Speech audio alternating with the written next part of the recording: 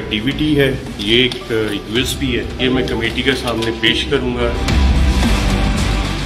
क्या अरशद शरीफ का iPhone iPad purse USB मिल गए? किसके पास हैं ये चीज़ें?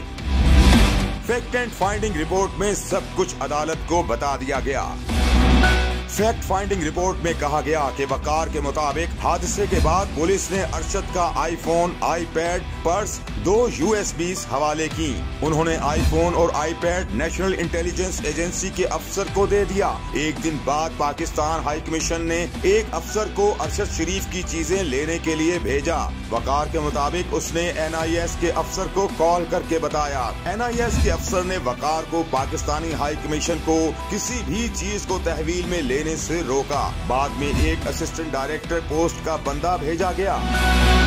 फैक्ट फाइंडिंग रिपोर्ट में कहा गया है कि पाकिस्तानी हाई कमीशन अफसरों को दो मोबाइल, एक कंप्यूटर और अरशद की एक जाती डायरी मिली। अरशद शरीफ ये चीज़ें कीनिया में रिहाइश के दौरान इस्तेमाल कर रहे थे। अरशद शरीफ की रिहाइश गाह ऐसी पासपोर्ट मिला। यूएसबी पासपोर्ट की कमीशन को हवालगी के सवाल का जवाब तसल्ली बख्श नहीं। वकार अहमद ने पहले सीसीटीवी फुटेज देने पर आमादगी ज़ाहिर की। उन्होंने बाद में फुटेज देने से माजरत कर ली।